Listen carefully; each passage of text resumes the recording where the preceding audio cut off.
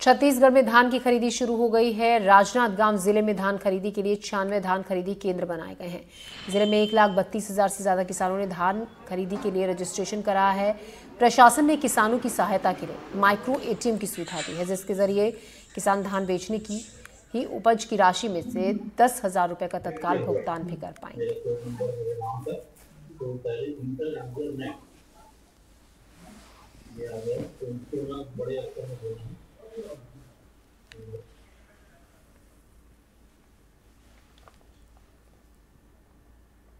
देखिए, ये जो धान खरीदी का जब सीज़न आता है तो जिन किसानों से हम धान खरीदी करते हैं, उनको भुगतान करने की भी एक बड़ी ज़िम्मेदारी हमारे ऊपर में होती है। तो उन किसानों को हम जो भुगतान करते हैं, वो अपनी शाखाओं के माध्यम से भुगतान करते हैं।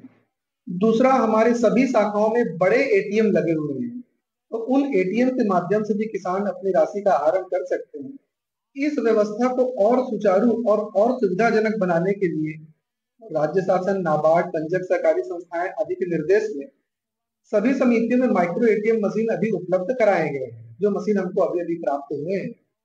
उन माइक्रो एटीएम मशीन के माध्यम से प्रत्येक किसान प्रतिदिन लगभग दस हज़ार रुपए का आहरण भी कर सकता है और उसका पैसा उसमें जमा भी कर सकता है। तो ये जो हमारे बैंक के अंतर्गत दो सौ बाईस समितियाँ आती है, सभी समितियों में माइक्रो एटीएम हम लोगों ने उपलब्ध करा दिया है। अभी उन माइक्रो एटीएम में हमने जो अपने किसानों को रुपए केसीसी कार्ड दिया है, उस केसीसी कार्ड के माध्यम से वो राशि का आहरण कर सकते हैं। प्रदेश में धान खरीदी शुरू हो चुकी है। लगातार पूरे प्रदेश भर में धान खरीदी की जा रही है। वहीं इस बार किसानों के लिए प्रदेश सरकार के द्वारा विशेष व्यवस्था की गई है, जिसमें लगभग राजनांदगांव ज़िले के सभी छियानवे धान खरीदी केंद्रों में माइक्रो एटीएम लगाया गया है।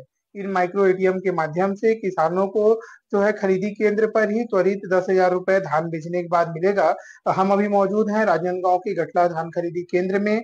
हमारे साथ यहाँ के प्रबंधक मौजूद है। आइए जानते हैं किस तरीके से इस माइक्रो एटीएम का इस्तेमाल कर किसान जो है पैसा ले सकते हैं। इसके साथ ही इसमें पैसे जमा करने की भी व्यवस्था है।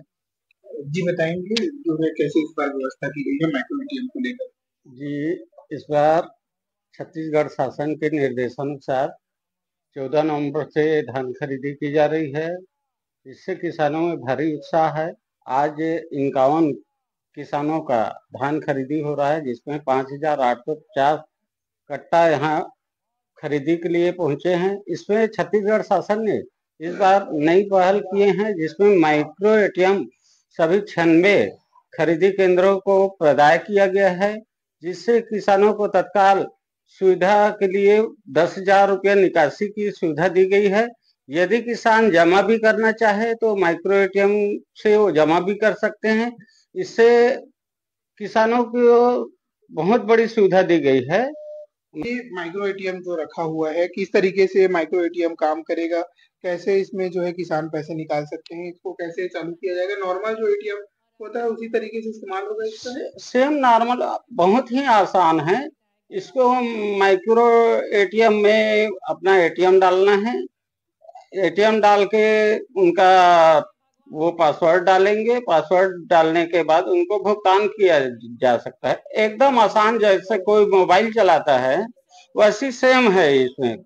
कुछ दिक्कत वाली बात नहीं है। और इसमें हमारे कर्मचारी हैं, जिनको निकालना नहीं आता, उनको सहयोग हमारे कर्मचारी करेंगे। माइक्रो एटीएम की व्यवस्था लगभग राजनांदगांव ज़िले के छियानवे धान खरीदी केंद्रों में जिला सहकारी केंद्रीय बैंक और जिला प्रशासन द्वारा की गई है। इन माइक्रो एटीएम के माध्यम से किसानों को सुविधा होगा।